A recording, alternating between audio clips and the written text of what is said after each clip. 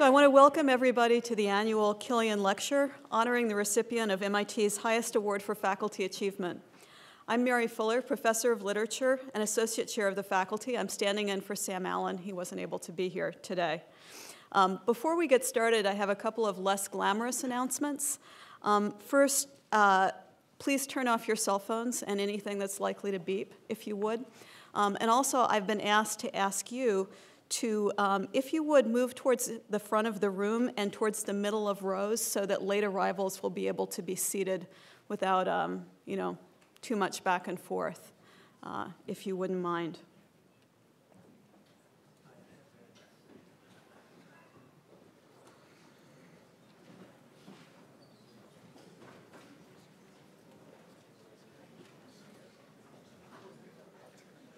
Thanks. It's a distinct pleasure and also an honor to introduce this year's winner of the James R. Killian Jr. Faculty Achievement Award, JoAnne Stubbe, the Novartis Professor of Chemistry and Biology. And our thanks are due to the Killian Selection Committee, chaired by Susan Silbey, for, proposing, for their work in proposing someone who's been both a profoundly dedicated member of the MIT community and one of the outstanding scientists of her generation, doing seminal work on the conversion of RNA to DNA. Professor Stubbe was born in Champaign, Illinois.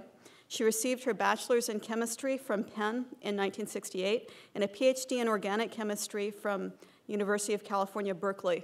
She taught at Williams College, the Yale School of Medicine, and the University of Wisconsin before being lured to MIT in 1987. Um, and she's asked me to note that she was an assistant professor for 13 years at Williams.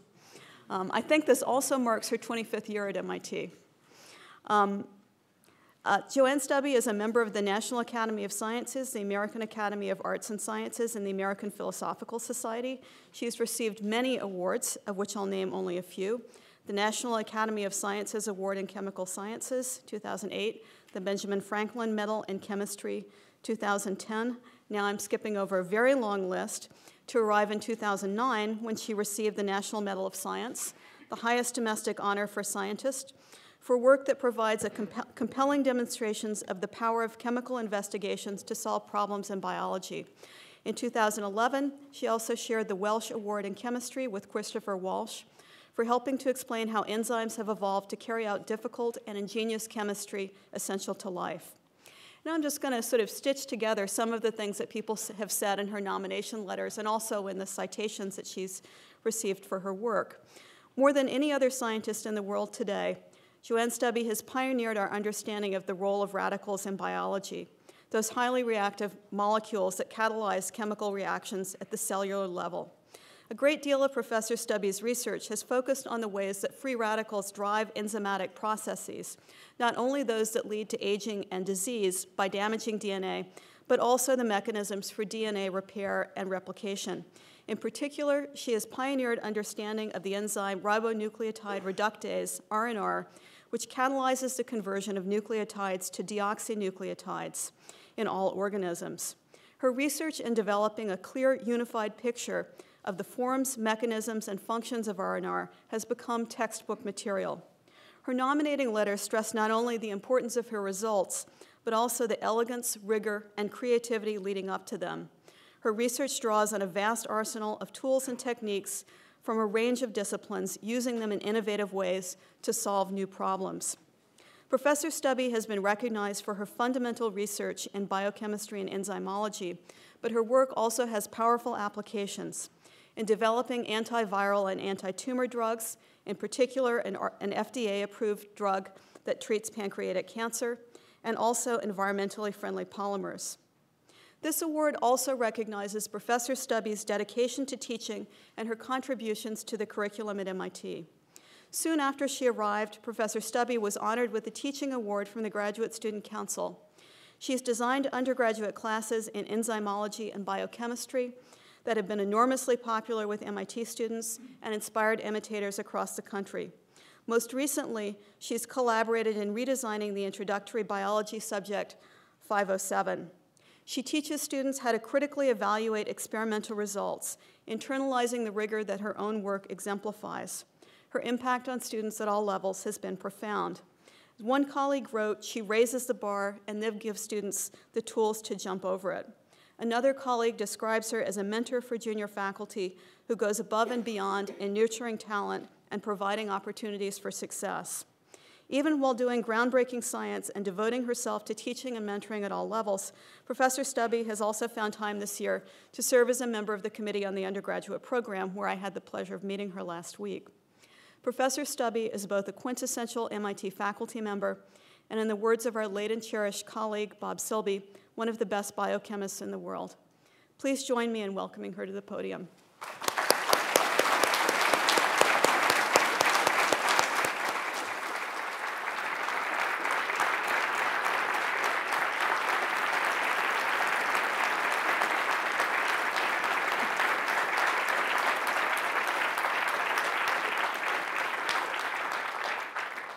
Just read the citation. This award is given to Professor JoAnne Stubbe in recognition of her dedication to teaching, the significance of her contribution to the biological chemistry curriculum at MIT, and the profound impact of her world on the field of enzymology.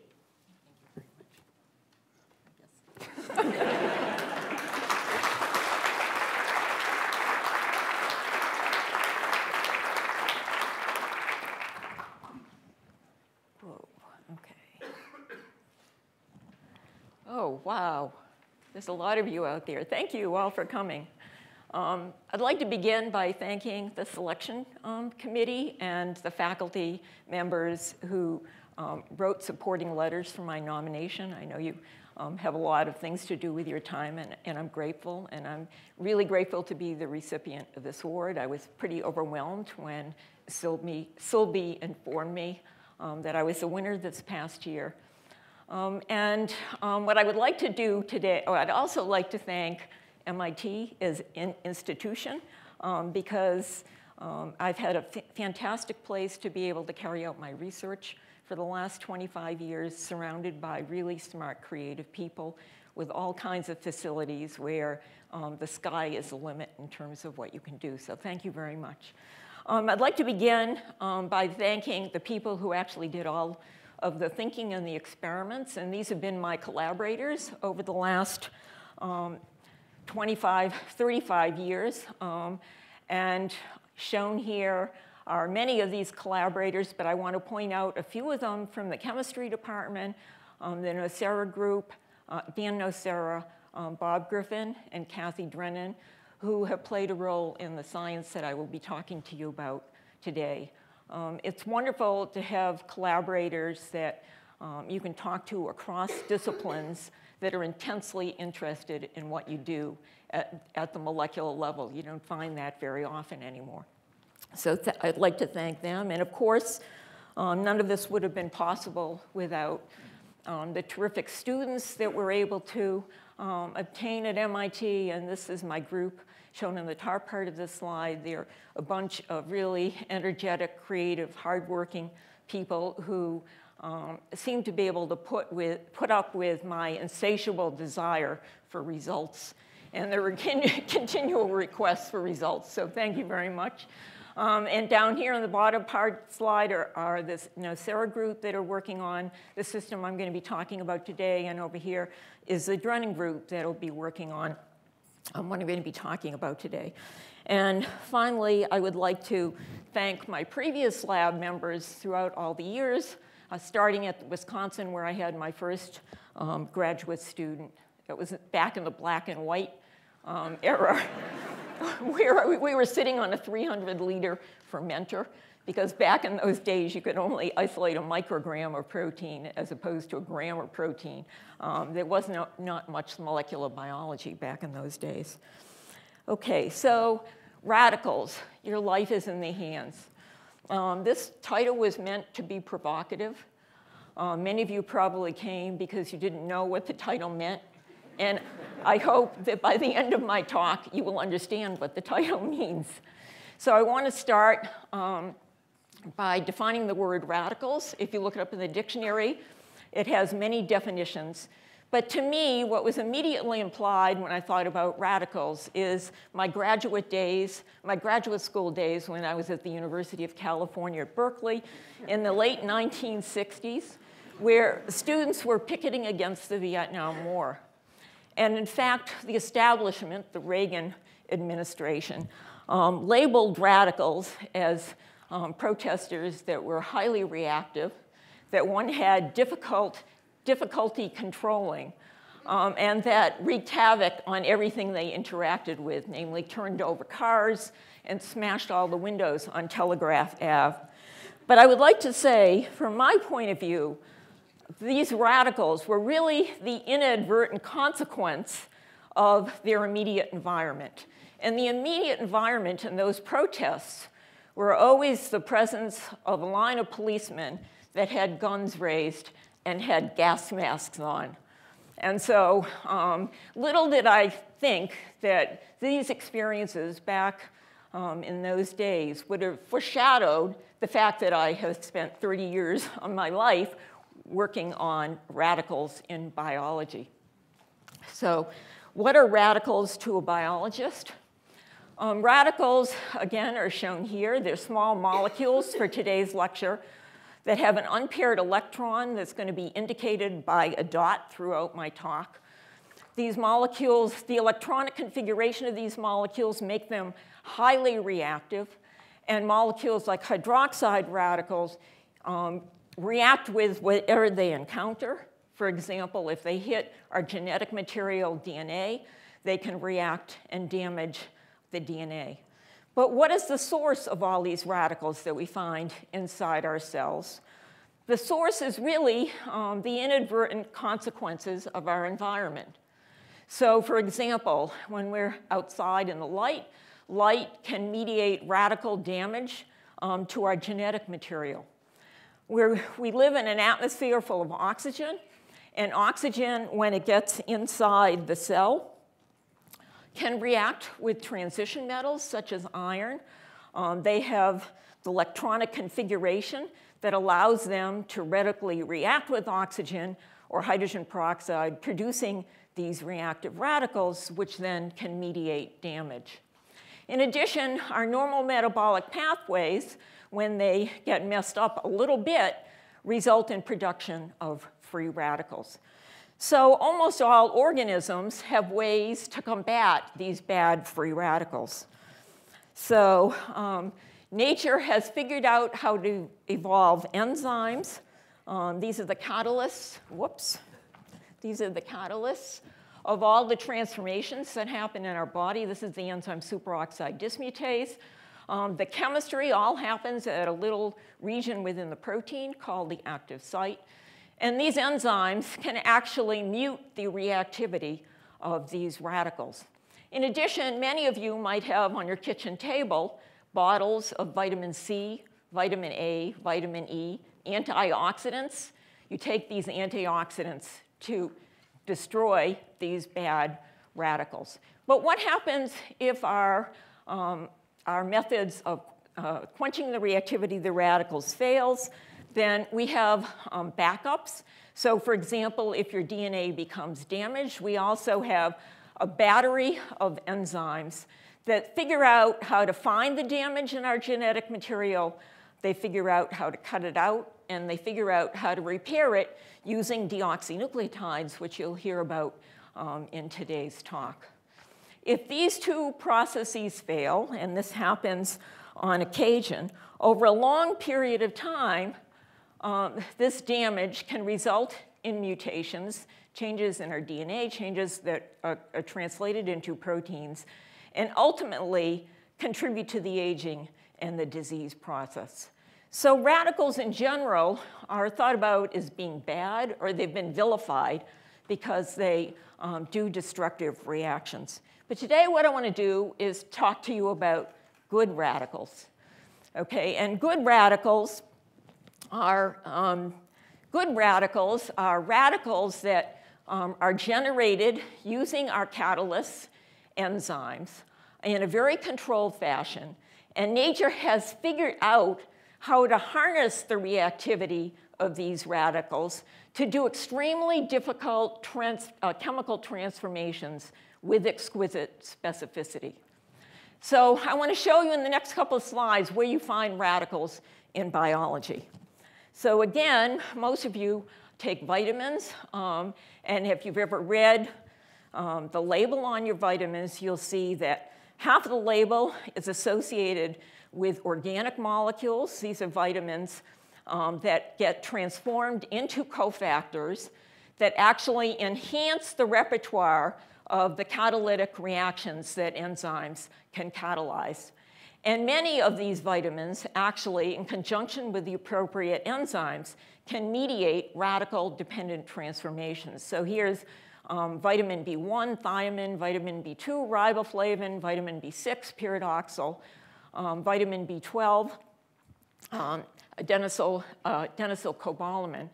But what has been so surprising to, um, to me from the last decade of research in the age of genomics and bioinformatics is another molecule. It's not a vitamin. It's not on your vitamin, uh, vitamin bottle.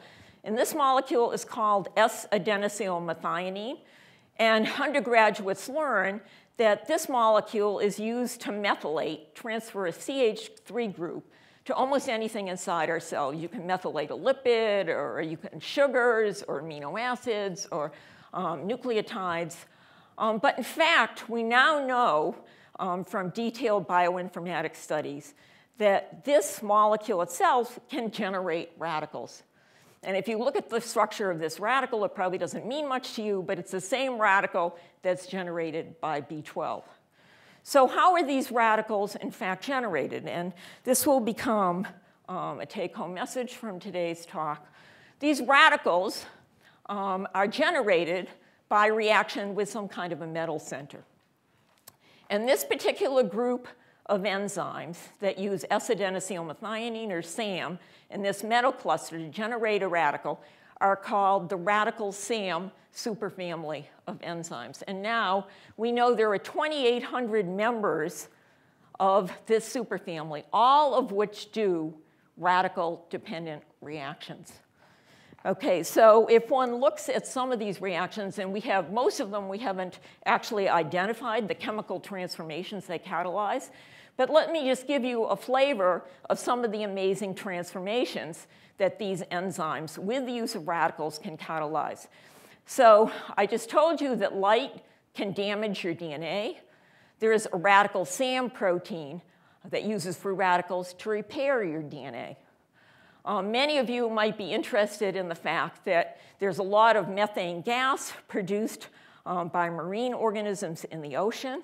Um, people have postulated that the source was some kind of a phosphonate derivative. That's a molecule with a phosphorus carbon bond. And in the last two months, a paper came out which showed that the methane gas uses, is produced by a radical SAM protein um, by cleavage of that phosphorus carbon bond. Um, if you look at another one of the vitamins on your bottle, biotin, it's made, you have to stick an S, which is a sulfur, into this molecule. This is into unactivated carbon-hydrogen bonds. This is very difficult chemistry. And in fact, it's a radical SAM protein that mediates that chemistry. And finally, thiamine, this is vitamin B1 in the previous slide, does an amazing um, rearrangement reaction. Um, and we don't understand the details of it, but it's also mediated by a radical SAM protein. So radicals are everywhere in biological transformations.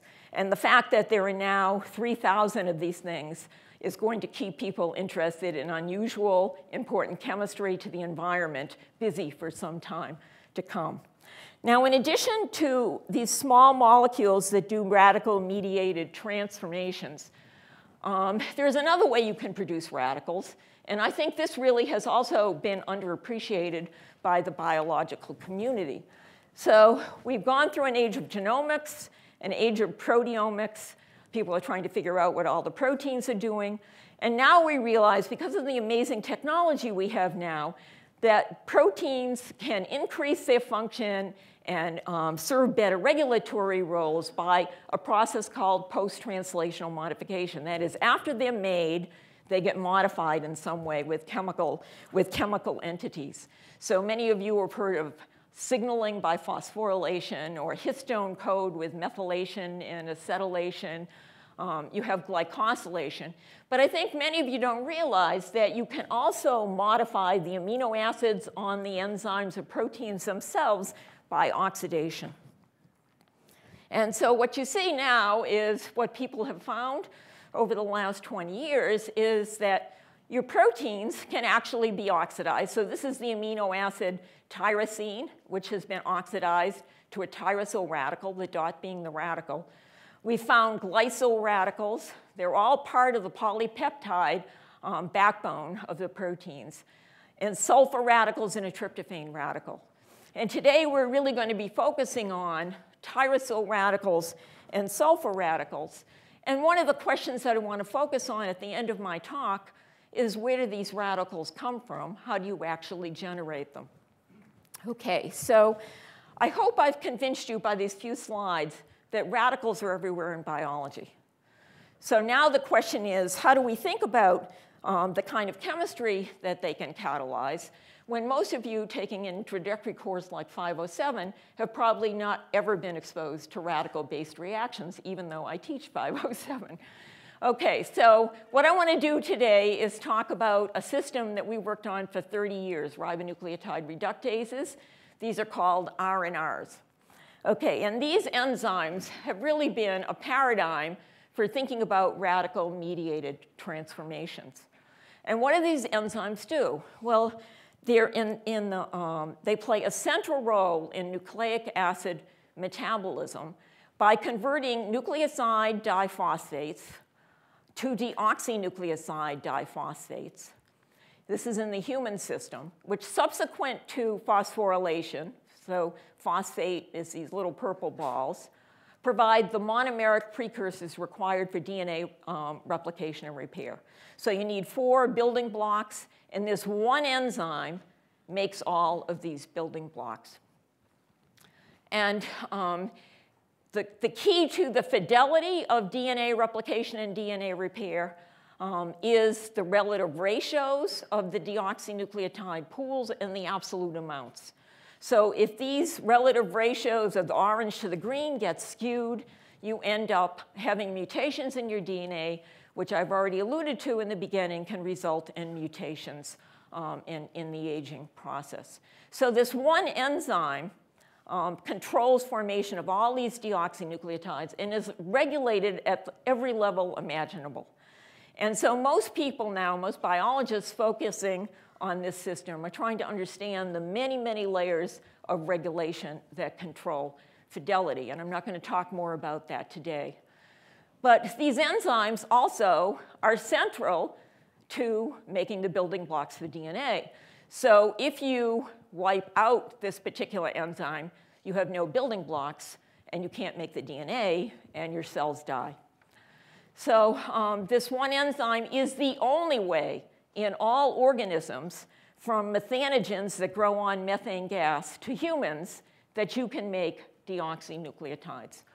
So we set out many years ago to try to understand um, the basis for this transformation. And you can, might imagine if that you can inhibit this particular step, um, you might be able to design molecules that interfere with DNA replication, which then would produce um, potentially um, anti-cancer agents. And I started out my career um, when I was a faculty member with potential to interact with students at Yale Medical School where I was interested in rational drug design. Okay, so what is the actual transformation catalyzed um, by these systems? So this is a nucleotide, and I'm going to have a little cheat sheet over here so you can, I know everybody gets mixed up with all the words and the dots and stuff, so um, you can keep coming back to the slide. This is a nucleotide, and um, this molecule is a precursor to RNA. And the nucleotide um, is going to be converted by ribonucleotide reductases to a deoxynucleotide. These are the building blocks for DNA. So what are you doing chemically? You're doing what appears to be, at least on paper, an extremely simple transformation. You're cleaving a carbon hydroxyl bond and you're forming a carbon hydrogen bond. Looks simple. Nothing could be farther from the truth. Okay, so what happens during this reaction? This is a reduction reaction. Two cysteines in the active site, these are amino acid cysteines that look like that, become oxidized concomitant um, with the substrate reduction. And to get multiple turnovers, to make a lot of deoxynucleotides, you have to way, have a way of reconverting the oxidized state back to the reduced state. Okay, and that's done enzymatically inside the cells. But in addition to these two cysteines that are required for the reduction process, there's a third cysteine that has to be oxidized to a thiyl radical that I showed you several slides ago that plays an essential role in all ribonucleotide reduction reactions. Um, this was quite unexpected, and we were the first ones that demonstrated the existence of this kind of a species that transiently exists and that plays an essential role in this process some time ago. So what I'm going to do, I'll come back and I'm going to talk about this cysteine radical and its involvement in catalyzing this transformation. But first, what I want to do is address the issue of where does this sulfur radical, which has a really short lifetime, where does it come from? Okay, and it turns out that we now know, based on informatics and based on a huge amount of structural information, that there are three classes of ribonucleotide reductases. And the classification is based on the metal cofactors, which I'm going to introduce you to, that are involved in the oxidation of the amino acid cysteine to this radical. So what we know is that all three classes, um, one, two, and three, and the one we're going to spend most time on, that's the one found in humans, um, have the exact same structure. So they all have a common active site where they have a 10-stranded barrel. And there's the nucleotide that's going to be um, reduced. That's the nucleotide.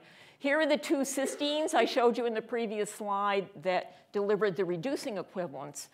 And they all have a finger loop in the center um, of this barrel with the cysteine that needs to be oxidized to a sulfur radical to do any chemistry at all. So I also have here a cloud. And this cloud is masking the radical initi initiator. So what I'm going to show you is in these different classes, there is a different mechanism of oxidation in each class. And again, what I'm going to do is first introduce you to class two and three, and then I will spend a little bit of time talking about class one, which really has an unprecedented mechanism of long-range oxidation. So if you look at class two, you've seen this before. Um, this is B12, nature's most beautiful cofactor. And the function of this cofactor it, with the appropriate enzyme, RNR, is to make a radical. And here's the structure. Um, we lift the cloud, and there we see the corrin ring with a cobalt, that's the pink dot. And this ligand, which is the radical that does the oxidation of cysteine to a thioradical, sits within a few angstroms, about three angstroms from the cysteine that's going to be oxidized. So they're close in three-dimensional space. The class 3 enzymes are only found in organisms that are grown under strictly anaerobic conditions. They can't have any oxygen around. And here we have another um, molecule I've introduced you to earlier. This is the radical SAM superfamily of enzymes. And again, it generates the same reactive species as B12. But in this case, the radical SAM enzyme generates a glycyl radical in the polypeptide backbone. Um, glycyl radicals are pre quite prevalent in biology. And if we lift up the cloud over here, the same place where this cofactor is sitting is the glycyl radical. So this glycyl radical now is sitting within a few angstroms of the cysteine that needs to be oxidized. Okay, well that's chemically reasonable. When you want to do a reaction, two things need to get together and they need to be a few angstroms apart. So what happens in the class 1 enzyme, which is the one found in humans? And in the class 1 enzyme, um, the observations are really quite striking. So first of all, if you lift off the cloud, what do you see? You see two tyrosines. Okay, two tyrosines, and these tyrosines are not redox active. They can't, by themselves, oxidize cysteine to a sulfur radical. So where is the cofactor, the radical species that's going to catalyze our oxidation? It turns out that this protein requires a second protein. And that second protein, um, called a subunit, so the two, this protein that houses these, these um, reactive intermediates and this is a second protein, have to come together to actually make your enzyme function. So in this second protein, what do you find? You find this tyrosyl radical I introduced you to at the very beginning of my talk, um, next to a diiron cluster. And I'm going to come back to the role of this diiron cluster in generating this radical at the very end of my talk. What's amazing about this tyrosyl radical is the following. In solution, if you generate a tyrosyl radical chemically, its lifetime is 10 to the minus 6 seconds. In this protein, in the E. coli protein and the human protein, the lifetime of the radical is minutes to days. Okay, and it's absolutely essential for, for catalysis. If you reduce this radical back down to the amino acid tyrosine, you can't make deoxynucleotides. Okay, so what do we know? We know from studies that have been done in the last um, six years or so that in addition to this well-studied class 1 enzyme, 1A enzyme found in humans, um, we've discovered two additional um, ribonucleotide reductases that sit in almost identical protein structures but have different metals. Um, in one of these, and this was discovered by my lab um, in the last couple years, we found a dimanganese tyrosyl radical cofactor that's going to mediate this oxidation. Um, and in fact, um, we believe that pathogenic organisms are going to have a manganese cluster rather than an iron cluster. Um, in a, a, study that was done five, six years ago now by Bollinger and Krebs, one of my former students, um, they discovered yet another metal cluster. Um, there's no tyrosine, so you can't, this is a phenylalanine that's hard to oxidize, so you end up with a manganese 4 and an iron 3. This is found in a human intracellular parasite. So what's amazing is that we've used three different metal motifs that I'll come back to at the very end of my talk that are all in a common structure that are all going to be involved in oxidation of cysteine to a cysteine radical. Now, what's really striking about this is the chemistry is all happening over here. And you have a second subunit that has to come together that has these radical initiators. And these guys are 35 angstroms apart.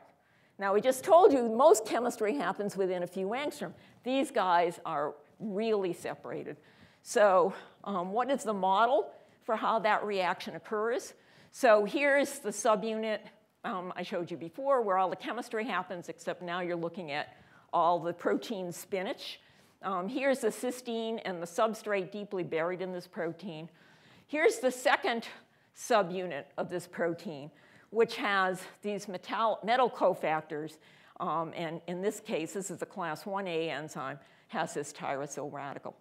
So this structure is a docking model of these two proteins, um, which we now have quite good evidence for based on my lab's collaboration with Cathy Drennan's lab um, and Marina Bennati's lab. And what's amazing is, again, this tyrosyl radical is removed 35 angstroms from this cysteine. So the question is, how do you do this oxidation over this long distance? And so the working hypothesis um, is shown on this slide. And this is the Nocera-Stubbe model for how this reaction works. So here's the subunit with the iron cluster and I'm going to show you later on, its function is to generate this tyrosyl radical that's absolutely essential for catalysis. If you reduce it, you lose all catalytic activity. Here's the subunit over here we've been talking about. Remember I lifted the cloud and I showed you that there were two tyrosines. Here's where the substrate binds, the nucleotide binds, and needs to be converted into a deoxynucleotide. So the proposal is, we know a lot about redox reaction in biology in things like the photosynthetic reaction center or the enzymes that convert nitrogen gas into ammonia or the respiratory chains. We know electrons can move long distances because they're tiny, by tunneling mechanisms, usually between two metal centers.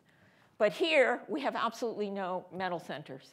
And the distance is longer than electrons can move to account for the rate of the nucleotide reduction process.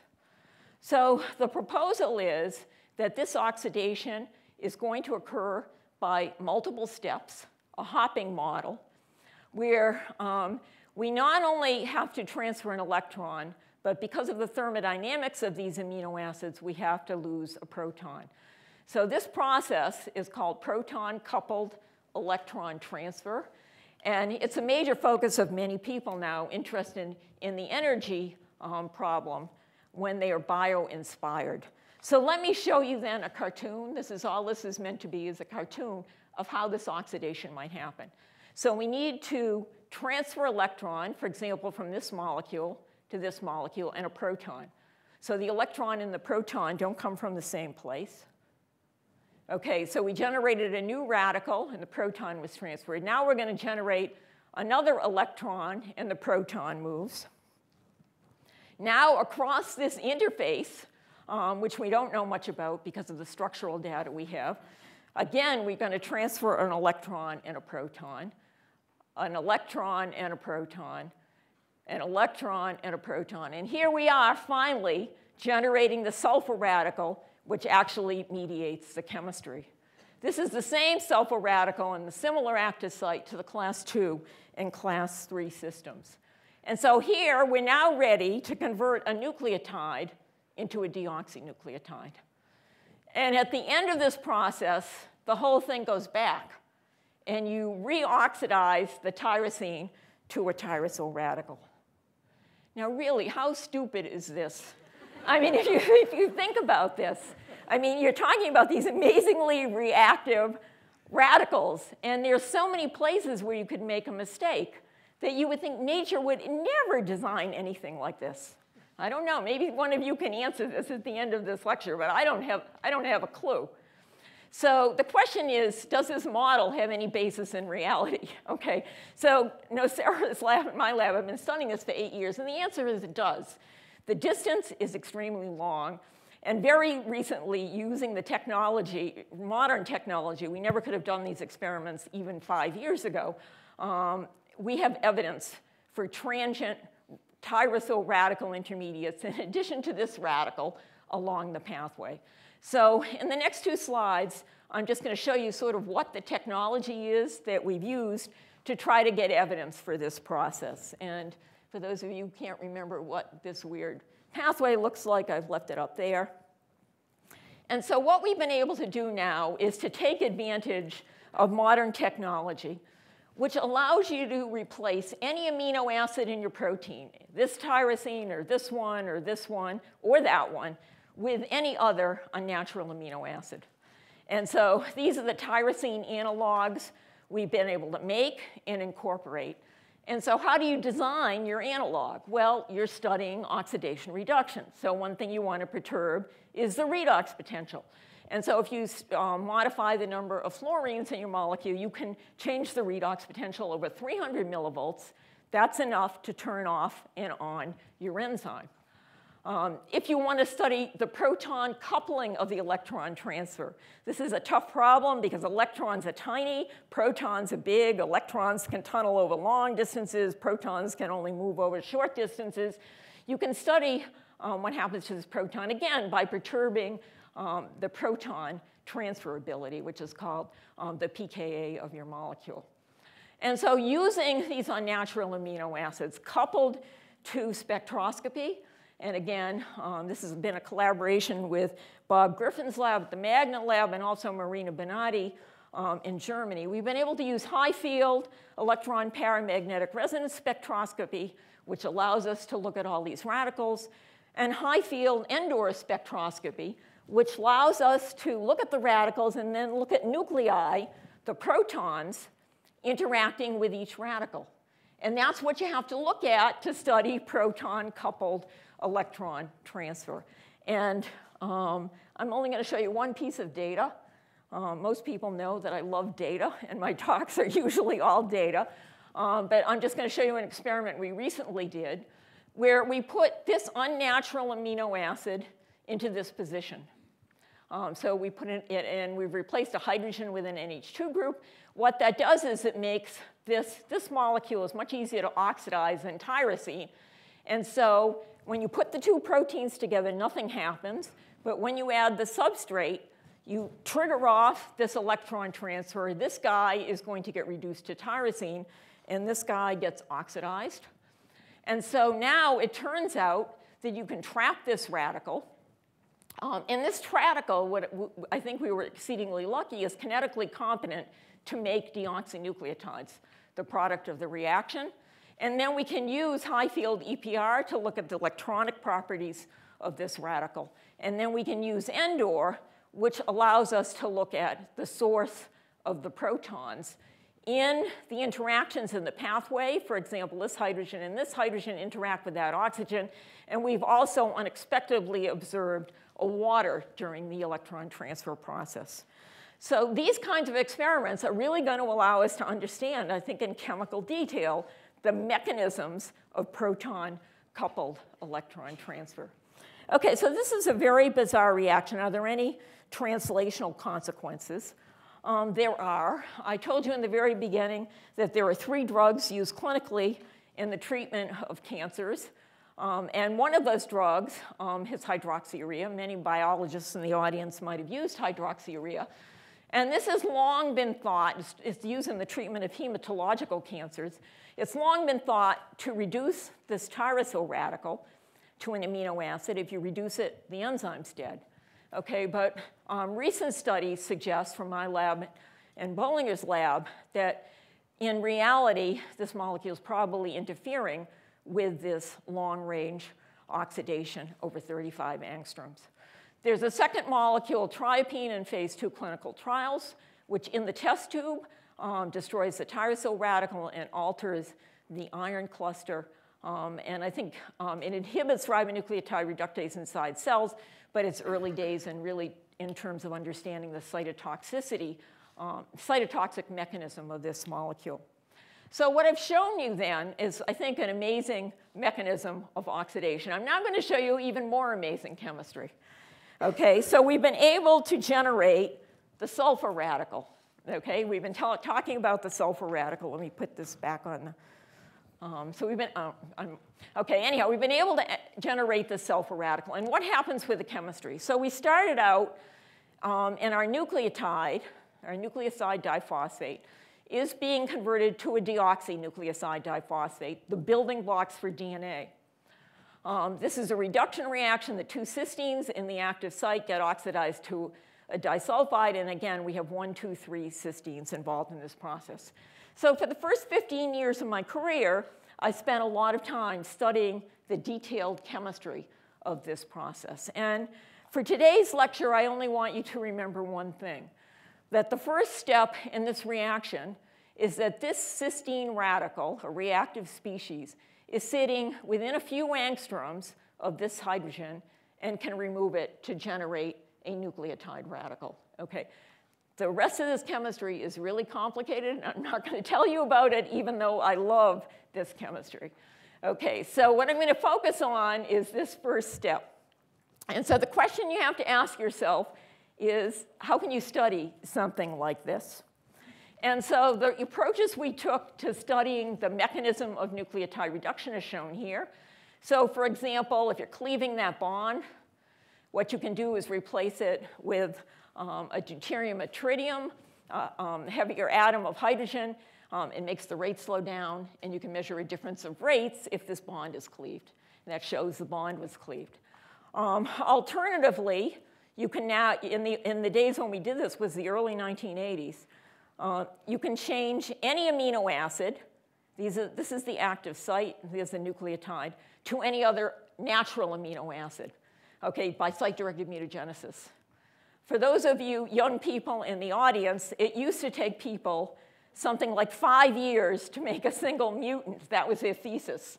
Now you can pull somebody in off the street, and in two days they can make 100 mutants. I mean, that, that tells you what the technology is like. Anyhow, back in these days, we had to work pretty hard to figure this out. And what you could do is change an SH to an OH, for example. And if you did that, you would prevent this redox chemistry over here. This can't happen. And so you could potentially build up intermediates before that step actually happened.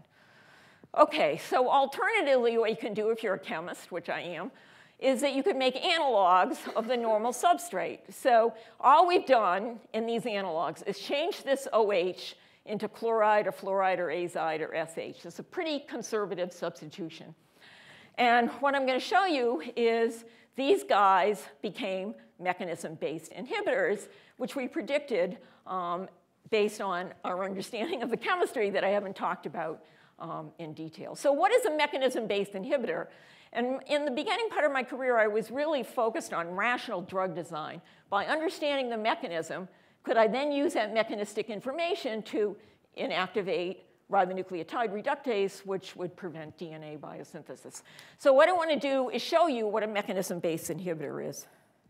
OK, so I've gone to a cartoon version.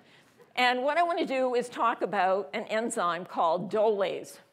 OK, DOLase, pineapple. OK, so here's an enzyme. OK, and is the active site. And the substrate for this enzyme is a pineapple. Okay, so the pineapple binds in the active site. And then the function of this enzyme is to cleave the fruit, to remove, sorry, cleave the stem from the fruit. That's what the enzyme has evolved to do, to generate stem plus fruit, which then dissociate off of the enzyme, allowing another pineapple to bind, and the process can repeat itself. Okay, so that's the enzyme. How would you design a mechanism-based inhibitor? Okay, the first criteria, it must look like the normal substrate so it can bind in the active site. Uh, this molecule, the inhibitor itself, is chemically unreactive. But using the normal catalytic mechanism, removal of the stem from the fruit, you're going to convert this molecule um, to a highly reactive species because the chemistry is going to stray from the normal um, function of the enzyme. So how would you design a mechanism-based inhibitor of DOLase? Okay, so this is my rendition of a hand grenade. It looks like the normal substrate, can bind in the active site. You remove the pin from the hand grenade, and all hell breaks loose. Okay, I'm going to show you that, in fact, we can make mechanism-based inhibitors that look exactly like this hand grenade. Okay. So what happens with these molecules where all I've done now is switch a hydroxyl group over here into a fluoride or an azide. Okay, so we incubate them with the enzyme, and we've spent a lot of time studying the detailed chemistry. But this is, a, so they look like the normal substrate, so they can bind in the active site. They're chemically very similar. The normal mechanism over here is removal of a hydrogen atom from the 3' prime position. So the first thing that happens with both of these guys, which are chemically stable, is that you remove a hydrogen atom. Then after that, you lose fluoride. That's sort of analogous to losing water from that position. With this guy, it's more complicated. You don't think about that. After you lose fluoride and, and azide, which turns into nitrogen gas and something else, um, what happens is now you cleave the base from the sugar. So you cleave that bond. Furthermore, um, you lose inorganic pyrophosphate. So look at what you've done. By simply replacing a, fluor a hydroxyl group with a fluoride, you've cleaved this bond, this bond, this bond, this bond. Um, the whole molecule is literally blown apart. And what you're left with is part of the sugar. And this sugar species is what goes boom. This is a highly reactive molecule activated for nucleophilic attack, um, and it kills the enzyme. So um, this, the studies on these kinds of compounds told us a great deal about the chemical mechanism of ribonucleotide reductases as well as being potentially useful um, inhibitors. So let me show you one other example which shows you the fine line between good and bad radicals. Okay, so now what we've done is we've taken our protein, we've changed one atom out of 2,300 amino acids we've changed this SH to, we've changed a sulfur to an oxygen. So in the sulfur and the oxygen, we've changed one of these guys that is involved in the redox chemistry. Now what happens, the normal substrate becomes a mechanism-based inhibitor. You cleave this bond, this bond, this bond, this bond, generate this furanone, which inactivates the enzyme. And furthermore, you have a radical left at the end, which cleaves your polypeptide in two. So you're walking a really fine line. We didn't do much to convert this, these radicals from something that we could control into something that was basically out of control. And so from a practical point of view, again, um, the studies that I just showed you um, with the fluorinated compounds were an inspiration to McCarthy's lab at Marion Dow Merrill, who designed Gemzar based on the understanding of the chemistry of these reactions. And gemcitabine um, is now a drug that's used clinically in the treatment of um, pancreatic cancer, advanced pancreatic cancer, non-small cell lung carcinoma, um, in addition, in combination with a wide range of um, other anti-cancer agents. And it's a paradigm for mechanism-based in inhibition. One equivalent of this compound wipes out the enzyme and kills it. And you get cleavage of that bond, cleavage of that bond, cleavage of that bond, cleavage of that bond, formation of this, and the enzyme dies. Okay, there's a second drug now that is used clinically. This is a Genzyme compound called clofarabine. And we thought it was also going to be a mechanism-based inhibitor. We've been studying this for the last few years on the human enzyme. It turns out not to be a mechanism-based inhibitor, but it's a slow, tight binding inhibitor. And what it does is it changes the quaternary structure of the human enzyme into a state where it becomes inactive. And we're in the process of actively investigating um, what's going on with this system in more detail. So I've told you a little bit about the mechanism of nucleotide reduction. Now, in the last couple of slides, I want to come back to this question of where does this tyrosyl radical come from that is involved in oxidation of cysteine to a cysteine radical. And what you see, I told you that this was on a second subunit um, from the subunit where all the chemistry happens. And what's really particularly interesting from a chemical point of view is we have um, two irons in a tyrosyl radical, two manganeses in a tyrosyl radical, a manganese and an iron. And it immediately raises the issue of how do you control metallation inside the cell? How do you deliver the appropriate metal into the right enzyme, given that if you look at the environment of this metal cluster and this metal cluster, the ligands are exactly the same. Okay, so I think a major unsolved problem in biological systems is trying to unravel the biosynthetic pathways by which metals are inserted into proteins. And I believe that you're walking a fine line. Remember in the very beginning, I told you iron 2 can react with oxygen to produce bad radicals. But we need iron 2 in our protein to be able to oxidize tyrosine to a tyrosyl radical. So my laboratory now has been focusing in the last eight years or so on the question of the chemistry, well, how does this chemistry happen in the test tube, um, and how does um, this chemistry happen inside the cell. So in the test tube, we can take advantage of the fact, and I think this is the reason why most people didn't really search very hard for biosynthetic pathways, is that many metal clusters can self-assemble to form active species. They don't do it all that efficiently, but they can self-assemble.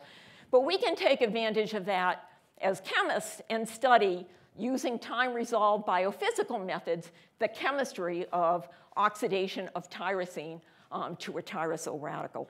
So let me just put the tyro to a tyrosyl radical over here. And using these studies, so this chemistry happens on a millisecond time scale. Um, you can study the reaction using free, rapid freeze quench EPR, Endor, Mossbauer, and EXAFS spectroscopies. I won't go through what these guys do, but what it allows you to do is look at the details of what's going on at the metals during this reaction. And we've been able to detect, in the case of the class 1 enzyme, like in humans, the first iron 3, iron 4 species. Most of, most of you are familiar with iron in the plus 2 and the plus 3 state. And very recently, um, and still um, work ongoing in the lab, we discovered with a class 1b enzyme, which has two manganeses in it, the first manganese 3 iron 4 species that's involved in oxidation of this tyrosine to a tyrosyl radical. So finally, um, let's come um, to the next to last slide. How does this happen in vivo? So in vivo, you have a protein, um, you make the protein, and there's no metal in it. So what do you need to be able to do? In the end, we know in the class 1A enzyme, we have two irons and a tyrosine that can oxidize to a tyrosyl radical. In the class 1B enzyme, you have two manganeses um, that, again, um, can oxidize a tyrosine to a tyrosyl radical. And how do you control this issue of mismetallation, given that all the ligands around these metals, metals are basically um, identical? And so what we now believe is that there's a special equipment inside the cell. This has been very elusive for many people trying to understand this process of how do you deliver iron into this system and not manganese. So if manganese goes into this protein, the enzyme doesn't function. It's dead. So you, you must have, have controlled metallation of your reactions. We know that in addition to delivering the metal, we need a reducing equivalent, and we know that the oxidant in this process, which eventually leads to oxidation of tyrosine to a tyrosyl radical, is oxygen gas. However, with the manganese system, um, oxygen is not the oxidant. And what we discovered several years ago now is that this second protein in the biosynthetic pathway that is going to specifically deliver the oxidant. And what I'm going to show you is this oxidant is one of the bad radicals, superoxide. So what we've been able to do in collaboration with the Rosenzweig lab um, is get an, a structure of, this is the protein with two manganeses in it. The um, protein that is going to deliver the oxidant turns out to be a flavin protein, that's vitamin, um, vitamin B2. And what you see in the structure of the complex, so there's one protein and the second protein, the green is this protein, the gray is that protein. What you see is a tunnel that goes from this cofactor, flavin in its reduced state, can react with oxygen, produce superoxide, which goes directly to the metal. It never gets out into solution, avoiding the problems with the bad radicals, namely superoxide. So nature has figured out how to control the reactivity of these radicals. So um, to almost conclude, let me just summarize. I've told you that ribonucleotide reductases really are playground for radical-mediated transformations. Um, they have very unusual chemistry of nucleotide reduction involving formation of transient thiyl radicals and complex nucleotide radical intermediates. Um, I've showed you in the class 1 enzyme found in humans this amazing oxidation over 35 angstroms through hopping tyrosine radicals. Um, I've also introduced you to the idea um, that you can have many different metal forms of this enzyme, and you really need to think about how to control metallation and oxidant delivery actually in many um, enzymes. 30 to 35% of all our enzymes have metals in them. Okay, I've showed you um, from a more translational point of view um, that ribonucleotide reductase um, is a successful target of three drugs um, that are used clinically. Um, the, uh, the cytotoxicity of these compounds is complex, involves many other proteins, but the most upstream protein is ribonucleotide reductases. And finally, for those of you who think about evolution, I think this is a fascinating problem. Since um, Noller's work showing that RNA plays a key role in peptide synthesis in the ribosome, you start, if you believe in an RNA world, how do you get to a DNA world? The only enzyme that we found in all organisms that convert nucleotides into deoxynucleotides is ribonucleotide reductase. You saw this weird radical base mechanism. A chemist never would have done it that way. Why did we do this radical based reaction? And so finally, I don't want to leave you with the idea that ribonucleotide reductases are the only um, radical based um, proteins. Um, tyrosyl radicals are found in many important places in biology. Many of you are now focused on the issue of the energy problem. Um, there is an amazing machine in plants and in bacteria that's capable of oxidizing water to oxygen gas, requiring the presence of light. It's a manganese machine. Maybe like the manganese ribonucleotide reductase, there are the four manganeses and a calcium. What is this guy? This is a tyrosine. And transient tyrosyl radicals play an incredibly important role in this overall oxidation process. If you come over here to cytochrome oxidase, where is this protein found? It's at the end of a respiratory chain in all humans. It does the opposite reaction, except this one is thermodynamically favorable. It converts water, uh, oxygen into water, okay? And what does it do with all the energy that's released? It makes the energy currency of the cell ATP. Okay, so how does it do this? Here's a metal in the middle of this um, organic spinach, which is a heme. There's a copper, another metal. And here you have sitting right next to the center a tyrosine attached to a histidine. And this is proposed to involve transient tyrosyl radicals. And finally, if you go over here to this little protein, this is COX, cyclooxygenase. All of you have had um, some kind of an experience with cyclooxygenase. It's a, non, it's a major target of nonsteroidal anti-inflammatories um, agents and also of aspirin. Here you have, again, a heme, and sitting right next to the heme is the tyrosine that mediates transient tyrosyl radical um, chemistry. So these radicals play a very important role in metabolism. So radicals, hopefully you have some idea that they're highly reactive species that nature uses a lot. Your life is in their hands. May I, say, may, I need not say more. If you don't have deoxynucleotides, you don't have life. So thank you.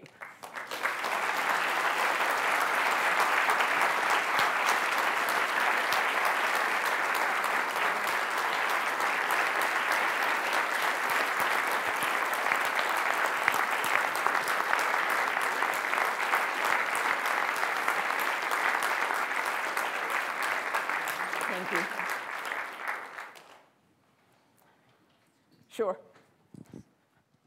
So I think we have a little bit of time for questions before the reception. If you'd like to ask one, please come to one of the microphones.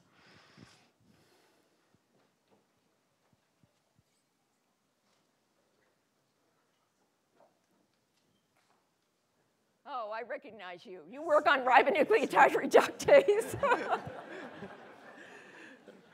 Professor Stubbe, I was wondering that if to make every molecule of DNTP, you have this oxidation of the cysteines on a RNR molecule, which you have to reverse for to make the enzyme functional again. This must be a very, very fast process, right? And the yeah, so the, chemist, the chemistry, the redox chemistry is very fast. The turnover number of the enzyme is quite slow because the rate limiting step is all physical. They're all conformationally gated. Right. Then how would DNA damage feedback onto this? Will it affect the rate of this proton-coupled electron transfer, or will it just affect the number, the production of the enzyme? So you really, uh, what was, what was the? Say, how will DNA, DNA damage? damage? So all uh, DNA damage, uh, the, the relationship between ribonucleotide reductase and DNA damage is that when you damage your DNA, you, are changing the base of the sugar um, of the building blocks that you, and then you cut it out, okay, by some mechanism. You know there are many mechanisms. And then what you need is just a deoxynucleotide to repair it. So it involves the DNA polymerases and the ligases. So it doesn't impinge, I, am not sure I understand your question, but it doesn't impinge directly on this electron transfer process right. at all. In other words, all you do, all this enzyme's doing is supplying the building blocks for DNA. Right. Okay. Thank you.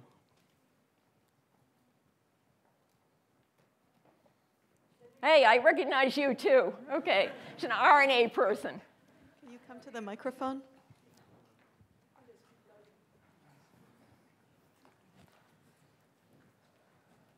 If you express the uh, class 1A enzyme in an organism that is normally for class 1C enzyme, do you get magnesium, I mean manganese or iron bound? Okay, so the class 1C enzyme, I, again, this is, I didn't tell you the whole truth. The class 1C enzyme um, has, which has the manganese 4 and an iron 3, has only been studied in vitro because it's found in a human intracellular parasite and you can't get enough of the material to actually look at the metallation. In the case of the dimanganese and the diiron cluster, we pulled the enzymes out under endogenous conditions and shown that we have either iron or manganese. But you know, I would dearly love to be able to do that experiment in the chlamydia system but I think it's actually um, going to be technically impossible unless somebody invents some additional really cool technology which lets us look at things maybe inside the cell. But the problem with ribonucleotide reductase is that they're, very, they're there in very low concentrations. So it would be hard to use fluorescence spectrosc- uh, spectroscopy or something like that to look at um, inside the cell directly.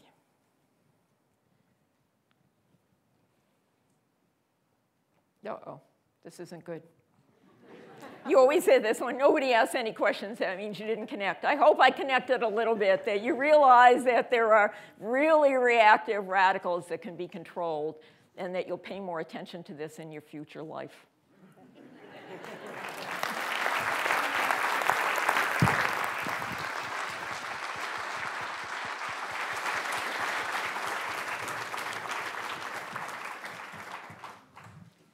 So much, Professor Stubbe. And uh, everyone, there's going to be a reception downstairs in the Barker Room, um, room 105 in this building. So please join us.